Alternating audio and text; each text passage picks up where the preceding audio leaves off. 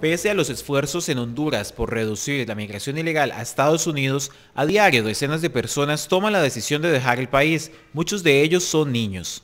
Son 666 menores hondureños los que fueron detenidos cuando intentaban viajar ilegalmente a Estados Unidos, México, Centroamérica y Europa, según cifras del Instituto de Migración de Honduras. Datos del Observatorio Consular y Migratorio de Honduras señalan que las deportaciones de los primeros 45 días del año reflejan que los esfuerzos por reducir los desplazamientos son insuficientes. Un informe de este organismo señala que los menores hondureños deportados este año desde Estados Unidos suman un total de 12, de ellos 9 son niños y 3 son niñas.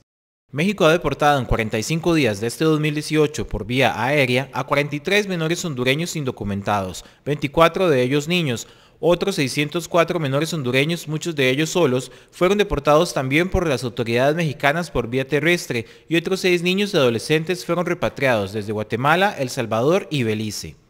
Las autoridades migratorias de Europa deportaron además a un menor hondureño. Según cifras oficiales, en todo 2017, Estados Unidos deportó a 198 menores hondureños, mientras que 4.474 retornaron de México y 58 fueron expulsados desde países centroamericanos.